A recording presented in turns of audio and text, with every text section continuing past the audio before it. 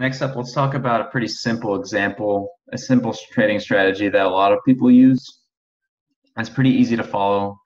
Um, there's a lot of details here, but you can simplify this significantly.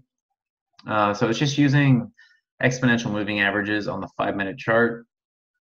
So for this particular strategy, these this is the criteria that I like to use for bullish and bearish setups.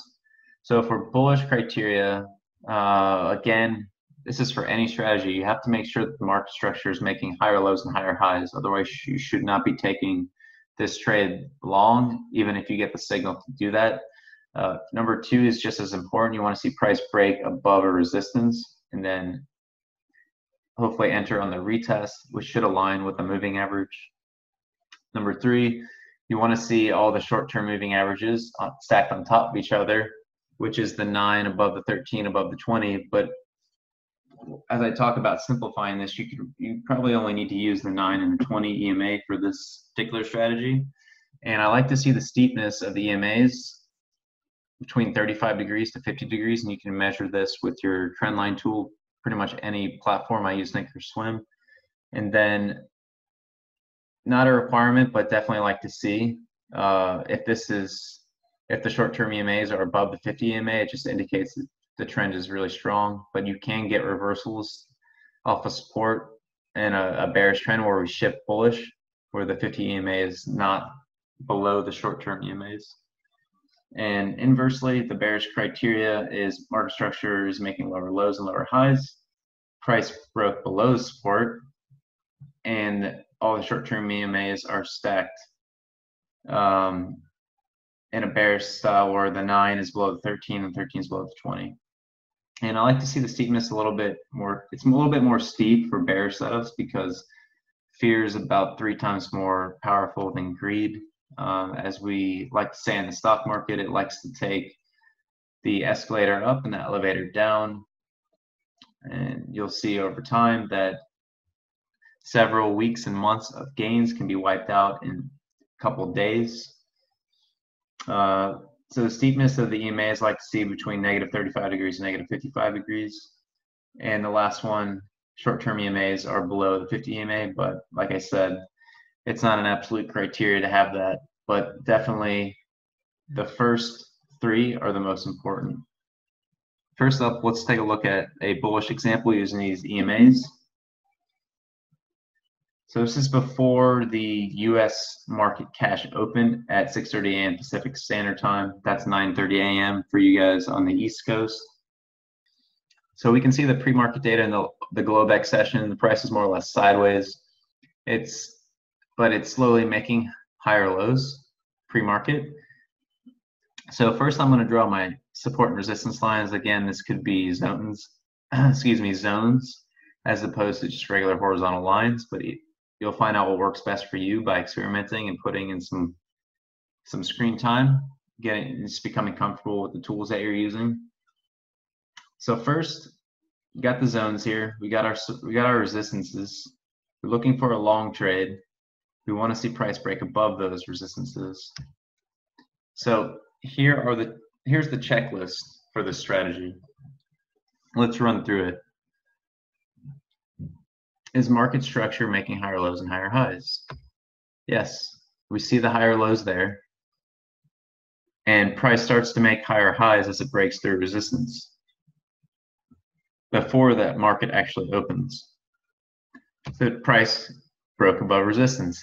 Yes, it did. One, two, and three times before the market actually opened. Actually, the, the third time it broke above resistance was that was actually the first five minute candle of the market open. So next up, number three is the nine EMA above the 13 and 13 above the 20. Yes, clearly can see that. And not an absolute necessity to measure this, but over, because over time you're just going to recognize if you use the EMA strategy, you'll recognize that this moving average, these moving averages look like the correct steepness. They look like it's trending nicely, and you don't actually have to measure it um, more or less if you look for about a 45 degree angle nothing too steep nothing too flat and the trade this strategy typically works really well and we can see that that steepness because I measured it, it was around 40 degrees. And all the short-term EMAs are above 50 EMA. So let's talk about like where we would actually enter this trade. So here's the first break above that we we broke above the resistance. So we'd be looking for an entry back to retest old resistance, new support. So that's what that green shaded rectangle is. So if you trade pre-market, I don't recommend it, but you can. Um, it's just a little bit risky with the volatility and the whippiness that can happen on the first on the opening drive. I like to say in the first five to ten minutes. But if you do trade the pre-market, where we would have actually entered this would have been around previous market structure. We'd probably have to enter a little bit higher off the EMAs. So you have the 9, 13, and the 20. I typically like to enter between them. If you can get an entry closer to the 20 EMA, the better.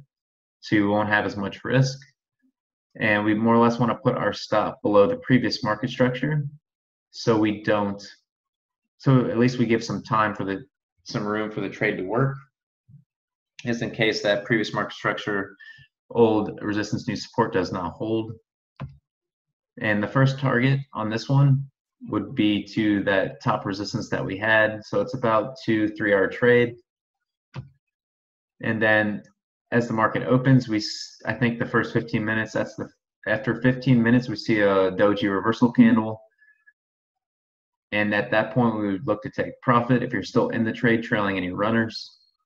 So let's just say that you didn't enter that trade pre-market because you're a good disciplined trader and you're waiting for the market to open.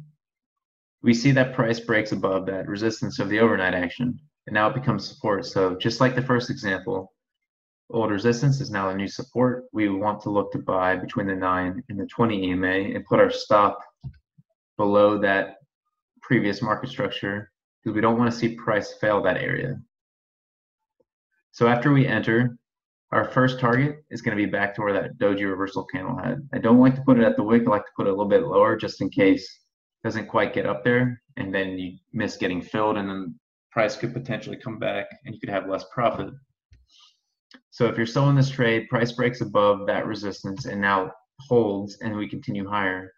So at this point, if you're trailing, I would look to just trail below each, trail your stop below each new low on the five minute chart until you see, until you actually hit a resistance or you see a reversal sign, which in this case, we see a bullish piercing pattern.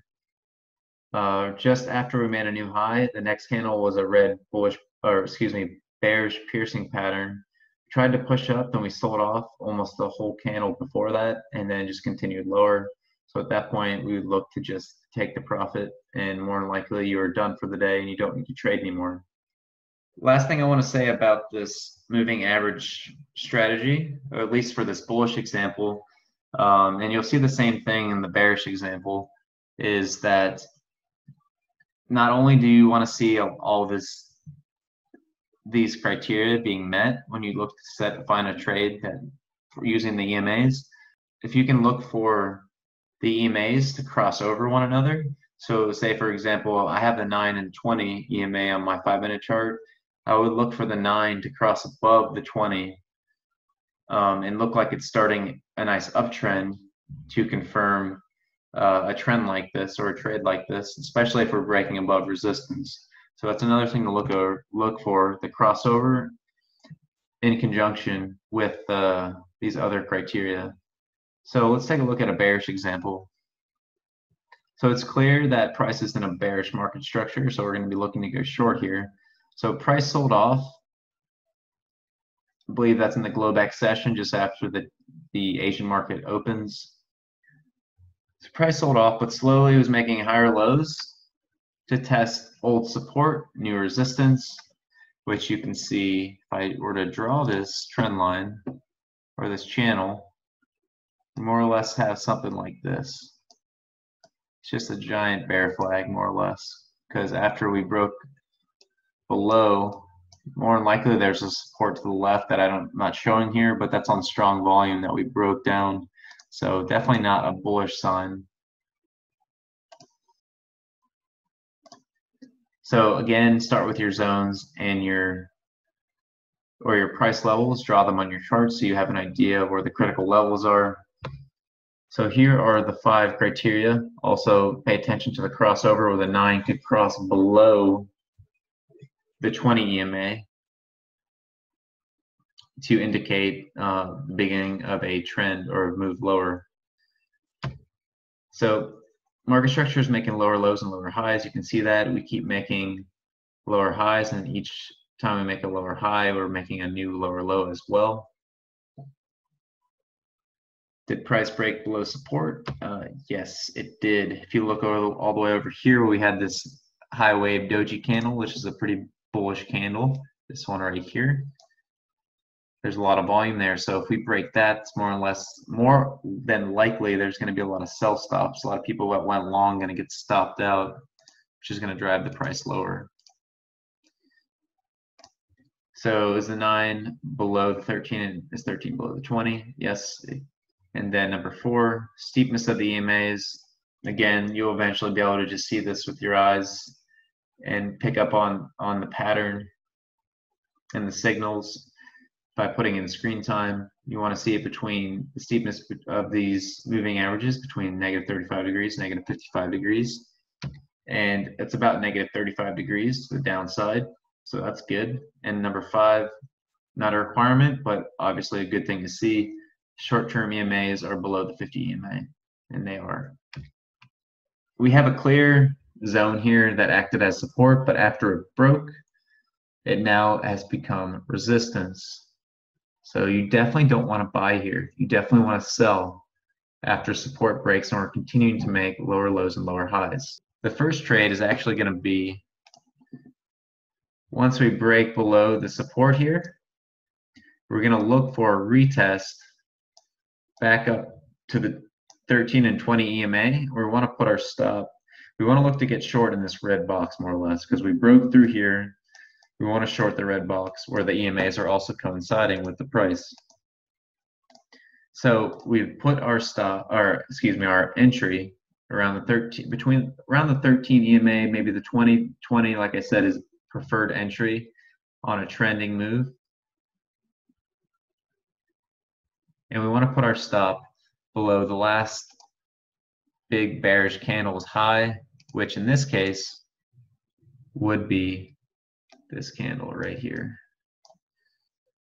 So we put our stop there, we have our entry. So this is the ES S&P 500 futures. It's about I don't know, four or five points, stop. of course, if you can't trade the minis with that size of a risk, size of a stop, then you could trade the micros, so no biggie. And then once we're in that trade, as it works, we'll trail our stop down as the price just hugs the EMAs. And we'll look for a bottoming pattern because on this chart, I don't have any support levels drawn. But I'm sure if I look to the left, there probably was a support level and a reason why we bounced three times in this area. So the first time you see the bounce here, and then you see this doji candle here, you'd want to take your profit on that trade.